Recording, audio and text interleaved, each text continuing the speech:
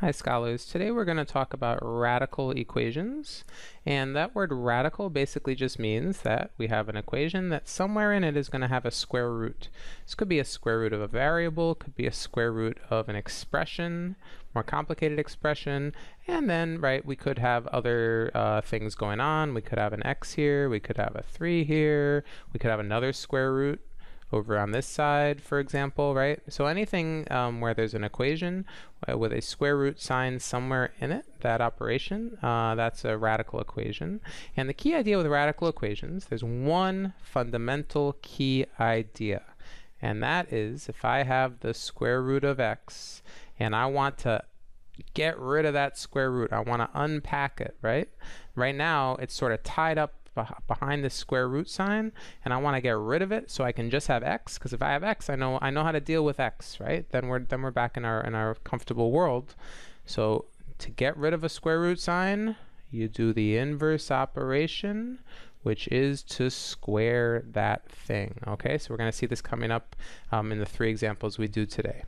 So example number one nice and easy. Square root of k is equal to 5 what's the value of k well, before we even solve it, this, this question is really asking the square root of what number is equal to 5?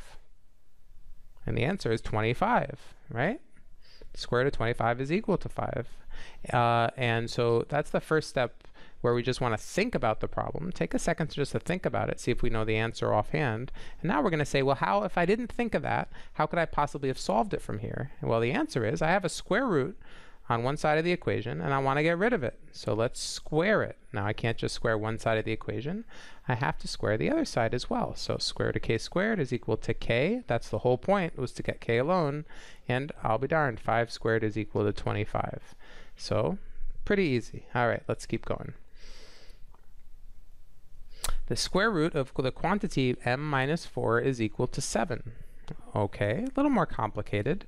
Now inside the square root sign I have um, an expression, right? A binomial instead of just a, a variable term.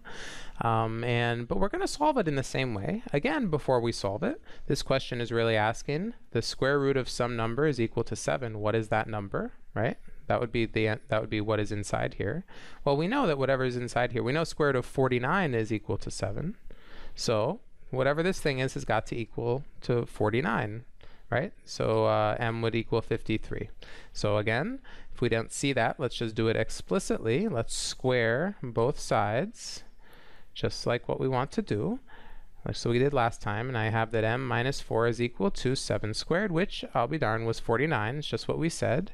And I can solve this equation, right? Now it's just a simple linear equation. M is equal to 53, okay? If I plug the number 53 back into this equation, 53 minus 4 is 49, and the square root of 49 does indeed equal 7. All right, let's do one more problem that's much, or it's a little more complicated. x equals negative 3 plus the square root of the quantity 2x plus 21. Now you may be tempted to say, let's just square both sides of the equation, right? Let's square this side, and well, this is everything, right? You can't just square this little piece. We'd have to square everything, right?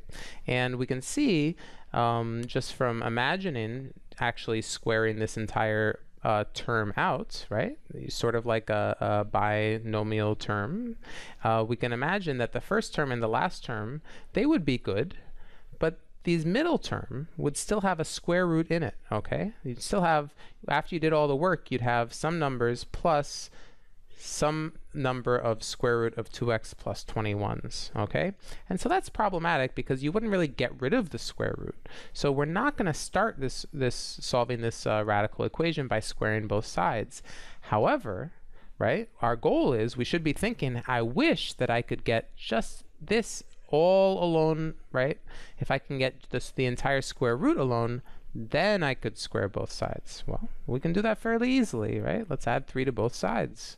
So that's our first step, okay? So it's an additional step. So I have now I have that the quantity x plus 3 equals square root of 2x plus 21. Now I'm in business, right? Now, if I squared both sides, that'll get rid of the square roots once and for all, okay? So the right side is pretty easy. So that's just uh, 2x plus 21. That's the whole reason why we just squared.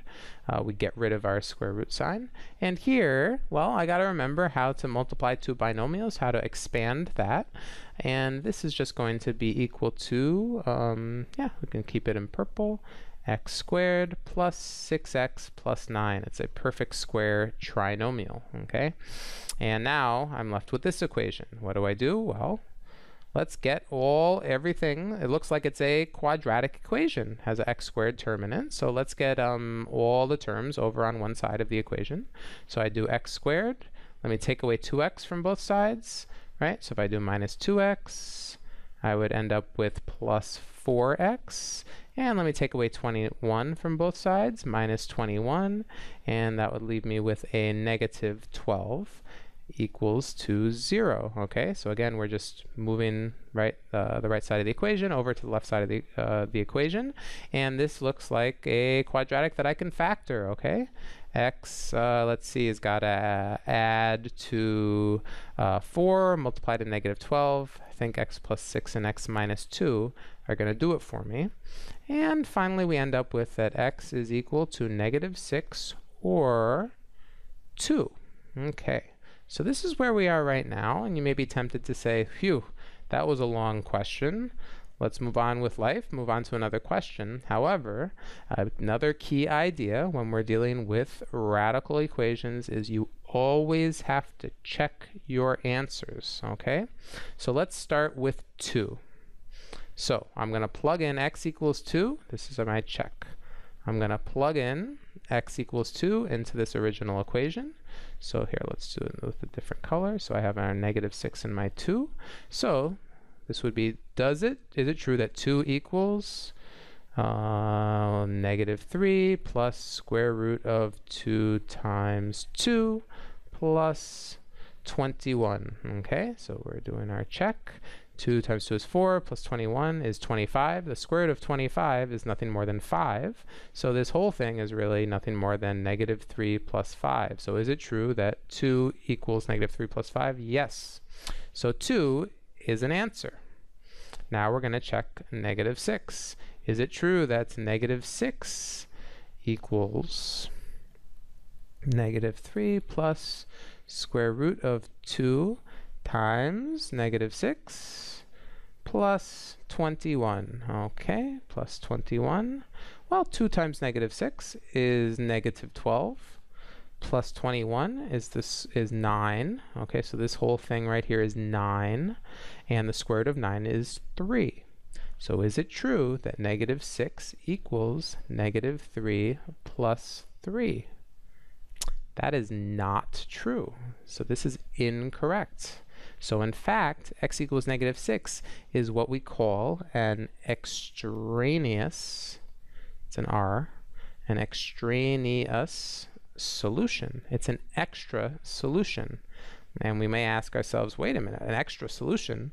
We've never done equations before where there's like an extra solution that doesn't work. Where did that negative 6 come from, right? So where it comes from is the fact that when we square right? This step right here, when we're squaring each side of the equation, we're losing some information about the sign of these two quantities. Now in this case, the sign, S-I-G-N, right? The sign, right? We're talking about are they positive or negative. In this case, it's positive because I don't see anything here, right? But this value of x right? It could be negative, right? And if it was negative, when I square it, right, when I square this whole quantity here, I don't know after I square it if it was negative or if it was positive, because no matter what, it's going to be positive, right? When I square a number, you end up with a positive number, positive value. And so when you square, this is where extraneous solutions come from. So the take home message is you always, always, always have to check your answer. Always.